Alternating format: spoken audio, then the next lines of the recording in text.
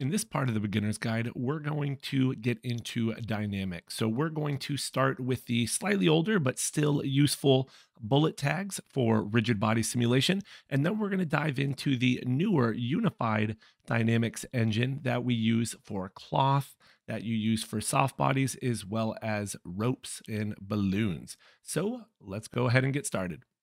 So here is the finished version of what I'm going to be going over today. We're going to be talking about rigid body simulation, the basics of those in a couple of different examples. We're going to be talking about cloth, how we can use that along with forces, since those can be used in simulations. We will also see soft bodies and end with taking a look at ropes and wire. So let's go ahead and get started here. Now in Cinema 4D, there's two different um, simulation engines here. The older bullet tags, uh, which we still have to use for rigid body simulation, though there are ways around that. Um, and the newer unified simulation engine, where we can do things like cloth, ropes, balloons, um, and pyro. They all work together. So there is a way to kind of bridge the gap here and just use the um, newer version. But um, you know, for more complex rigid body simulations, this is still uh, my preferred method. Now all I have here is a cube in a Voronoi fracture object. And to do this, what we're going to do is right click on our Voronoi fracture object, go to bullet tags and choose rigid body, which I know is a little bit cut off. I do apologize. Now what that's going to do is tell Cinema 4D we want this object to interact with other um, objects or pieces of geometry in our scene that we have assigned to be a part of this simulation using our um, rigid body tag here or our collider body, soft body, or even the ghost body tag from the bullet tag section. Now, if I just hit play, you'll notice this falls through um, our disk because um, our Voronoi fracture now has gravity applied to it or any other forces we create, um, but it doesn't have anything to interact with. And so if you want a piece of geometry to interact with um, something you've assigned the rigid body tag to, then the collider body is going to allow it interact without having any forces applied to it. So if I choose the collider body, now we see how we can get something to kind of crack or break apart. Going into the rigid body tag itself here, um, you can see whether or not it's enabled. Okay, that's actually a big part of what um, changes something from uh, it's the only difference really between the rigid body tag and the collider body is that dynamics and forces are enabled. Um, you can trigger this in a few different ways on a collision, for instance. That's very helpful if you're using the ghost body tag. And you can transition from it being dynamic to not dynamic um, on specific frames. You also have the ability to apply this tag to children. So if you apply this to, say, a cloner, um, you may want to uh, change the the settings on this, though. They did change these a while back, and for the most part, if you're applying it to a Voronoi fracture or a cloner, this should work just fine. Um, the shape that's actually being used for the simulation is being determined here. And so, for instance, if you're trying to, um, you know, have something fall inside a can or a cylinder or or a bowl, for instance, you may need to switch the shape type to something like um, static mesh or even moving mesh right? We also have basic properties like bounce or friction. You can see if I turn up bounce, things are going to bounce around, have a little bit more movement as they interact with each other and the ground. Okay, collision noise can give you a little bit more randomness in your simulations. Um, so if you want things to kind of move around a little bit more, be a little bit more unique, especially if you had the same object doing the exact same thing, collision noise can help there. We also have mass.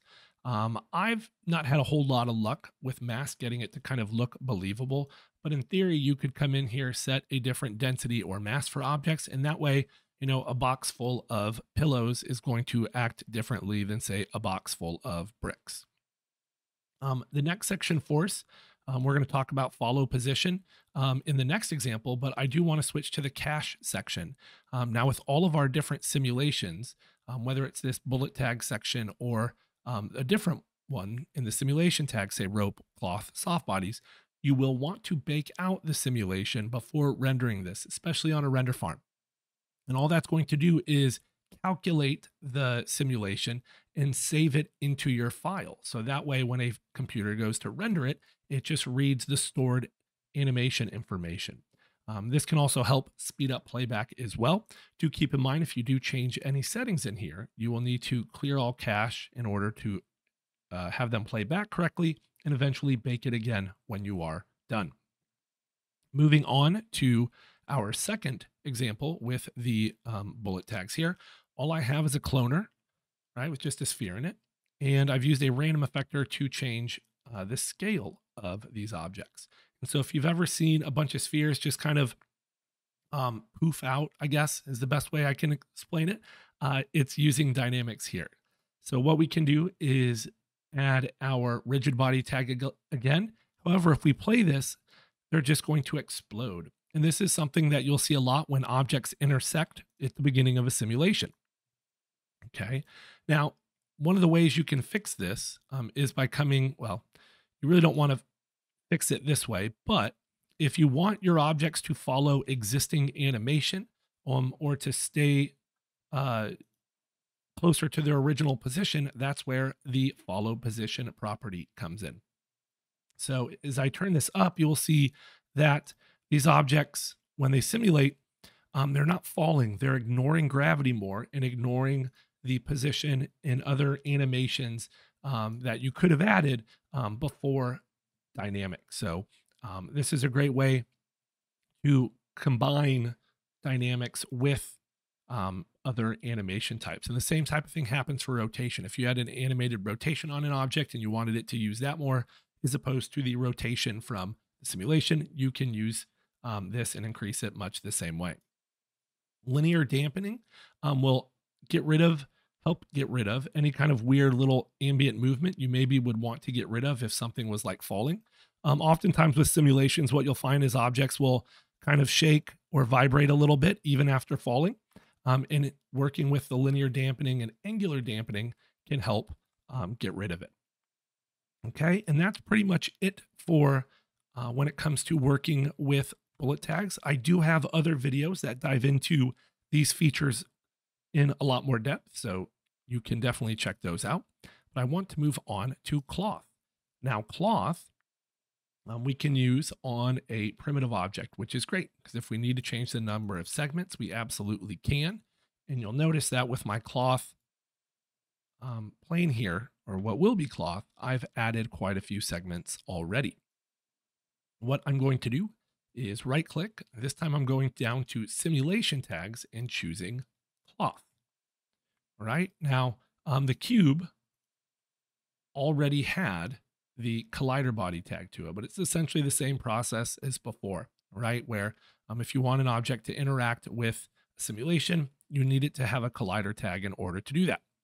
So that's going to give us our basic cloth. Now, in the cloth itself, um, you'll want to focus on the surface section where you have properties like bendiness, stretchiness, same thing with friction as well as thickness. And once again, I have videos that dive into those features um, more deeply um, and compare them if that's something you're interested in. However, for this, what I wanted to go over is kind of how to finish this, make it look a little bit better. You'll notice that the corners are poking through here. And there's a couple of different ways you could uh, fix that. Um, the first would be to use a cloth surface. I think that's still under, yep, our generators here. And this is really two things in one. It's the ability to give uh, this thickness. So I can give this thickness here. And that might be a way to kind of hide those corners. And I can also add subdivision surfaces to smooth this out. Though you'll notice we do get some some weirdness there. So um, we do want to, you know, keep an eye on that right? Another way you can help um, fix this is by increasing the thickness of um, our cloth, right? So if I increase this to say two, you can see it starting to get a little bit better. Um, perhaps even three um, will be better. And you'll see there, you know, it's starting to almost resemble what we had before. And even now you can see it's poking through a single polygon and that's why you need a lot of detail in order to get um, to get rid of that. So I maybe would also need to come in here and increase the number of segments. Say 150 by 150. I doubt that's going to be enough to fix this completely. But it's going to get this much closer. And when you combine that with, say, a subdivision surface, um, then you can get some really, really nice detail, uh, even though you still may have a little bit of that corner um, poking through. Honestly, what I would do in a situation um, like this, depending on exactly what this is going to do, if it was just going to stay stationary like this, this is a little bit trickier. Um, but, it, but what I would do is cache this, which once again, we have our cache um, tab here, and it's very, very similar. Just ca hit calculate cache, and it'll go through and calculate it for us. But depending on how much of this box we actually see, we could actually just hide it, get rid of it, or even just move it down a little bit so the corner isn't poking through. So we can see that, you know, something like right here, I can just come in, move it down ever so much, and if we needed to still see it at some point, that could work. We could also just maybe scale it down a little bit as well. So it's no longer sticking out. Um, but that is how I would get rid of those types of issues with our cloth. Okay. Another important kind of thing you can do with simulations is rather than have it start from the very beginning where, you know, the cloth is just falling down, um, you can choose where you want this cloth to start from. So if I want it to already start draped over our cube here, what I can do is go into dresser. And this is where you do have to have an editable object. All right. So I made it editable and unfortunately I'll have to resimulate it. But now what I can do is come in here and in my cloth tag, I can choose an initial state. So now when I hit set, that is exactly where my cloth starts from. And so I can start my simulation at a much better point in time as opposed to when it was being draped there. Okay. And at any point, if you don't like that, you can clear it and it will go back to the beginning. And, and you have that in the bullet tags as well. Now, what you can also do is fix points, and this is useful for doing, say, a flag. Um, I'm not sure exactly how this is going to work with so many polygons, but we'll see. So if I select, say, the four corners, I can just do um, set. And now when I simulate this, those points will not move. So if you want to create a flag, this is the way to do it. Now you have to be careful because those points won't move. And so if you decide to move that flag, um, you could potentially run into issues. I'm not even sure it will let you. Even the subdivision surface, I don't think. Oh, cool. So that will move. Um, but the points for the plane themselves will not. So just be very careful with that. Now, for say curtains, um, you would use the cloth belt. And while I'm not going to talk about the cloth belt specifically in cloth, it's pretty much the same process as the rope belt in rope. So we will see how to do that. Now, what else we can do with cloth in all of these different simulations is use different forces, attractor, detractor. You guys can read, so I'm not going to go through each one. But say I want to create a wind Okay, I can just kind of position it. Now, can hit play. And what we'll see, and it may not be obvious initially, um, is that it's going to apply to pretty much everything we have simulated here. Okay, so it's not necessarily based on how close something is. Now, you can use a field to control, you know, what things it gets applied to, because if you create a field, say a box field, that wind will only be ap- applied if it's inside uh, a simulation or geometries inside that that box. But just to show you, I could very easily increase my wind strength here to 20. I'm not sure that's going to be quite enough. You can see the cubes here moving. Um, they're getting blown away. So that's kind of a bit unrealistic considering our cloth isn't really doing a whole lot here. Um, and that's where, you know, maybe, yeah, you would want a field. You would want to scale it up so that our cloth is inside of it. And if I need to go into a side view to position this a little bit better. Absolutely could. That looks pretty good. There. This way right here. That's pretty big, but I think we'll be okay. And just so we can see this on the cloth, let's really increase the strength here.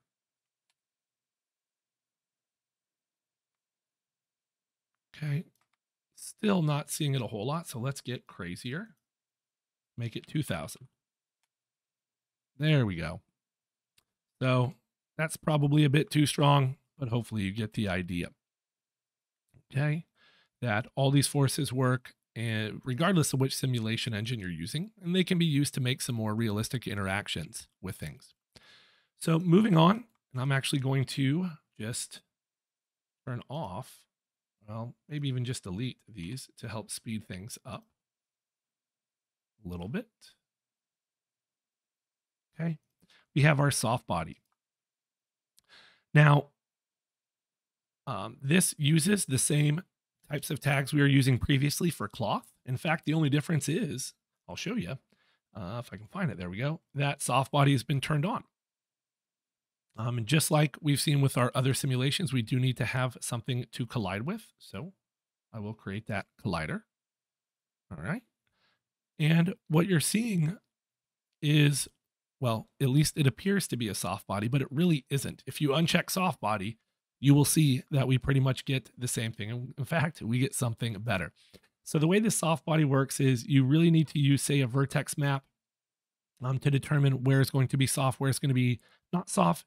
You can also um, increase the number of um, poles it's using, and that's going to help um, determine how rigid this is as well. You can see as I go higher here, um, the less um, soft this is. So typically speaking, the few times I've needed to use soft bodies, I actually don't do a whole lot here.